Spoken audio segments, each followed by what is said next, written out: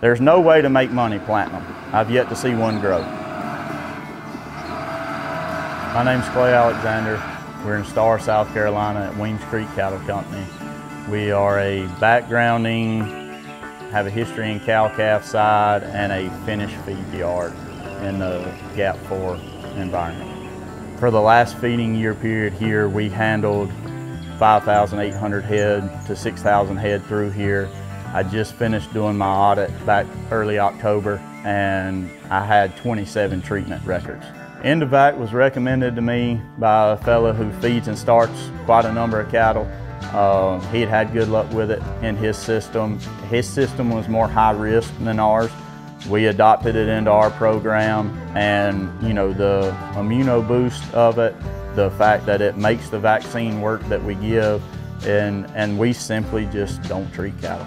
For us, receiving cattle is, is when we set the tone for the production of our farm.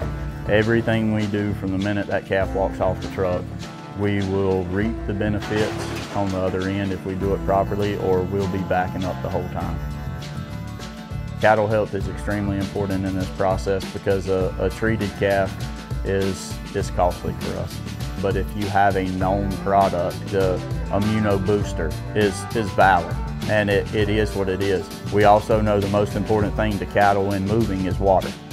So you would see a definite difference if you provide fresh, clean water or if you don't. We do, so we don't know what life's like without it. Same with the Endovac. We, we use the immuno booster.